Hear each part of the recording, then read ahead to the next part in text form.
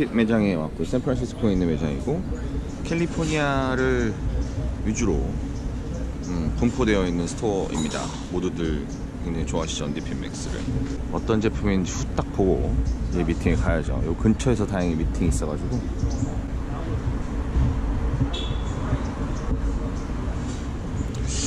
밖에서 보니까 뭐 별거 없는 것 같습니다만 Max 97 실버가 보이고요. 97 VaporMax가 보입니다. 아시아 칼라. Six Ring도 보이고요. Gatorade도 보입